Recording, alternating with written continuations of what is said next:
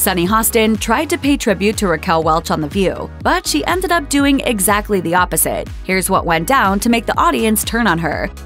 Some people are destined for greatness, earning fame from the moment they set foot in the entertainment industry. Raquel Welch was one of those people. The late actress and model catapulted to fame after starring in the 1966 film Fantastic Voyage, which laid her talent bare for all the world to see. In 1 million years BC, Welch rocked a makeshift bikini that quickly had her labeled as a sex symbol in the industry.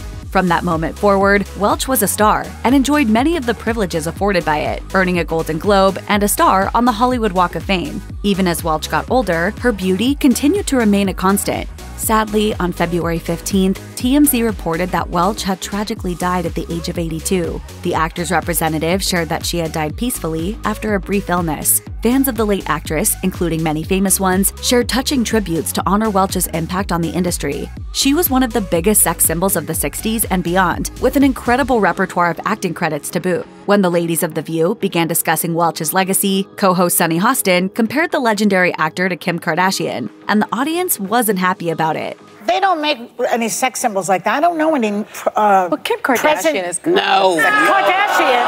No. No. This isn't the first time Kardashian has been compared to an iconic Hollywood sex symbol, as many have compared the reality star to Marilyn Monroe and now Welch. Still, many disagreed, including fellow co host Whoopi Goldberg. That's not even. You can't even put them in the. sa- I'm not even. Look, I'm going. I'm moving on. Before forging ahead, Ana Navarro chimed in to divert attention away from Kardashian and instead focus her frustration on the media, who hardly mentioned that Welch was a Latina woman.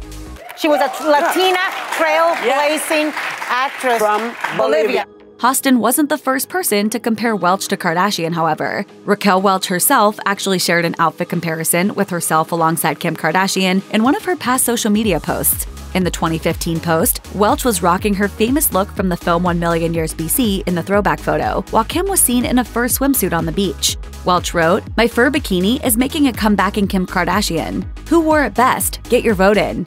And that's not the only link between Welch and the Kardashians. In a post from 2016, Welch addressed the news that Kim's sister, Khloe Kardashian, had bought an image of her that was shot by Terry O'Neill. Khloe shared on her site at the time that the photo, quote, was shot in 1966 to symbolize how Welch was crucified by the entertainment industry for her sexuality. On social media, Welch wrote in response, It's nice to know that after all these years, that the ironies of being a sex symbol still resonate with the new generation of young women.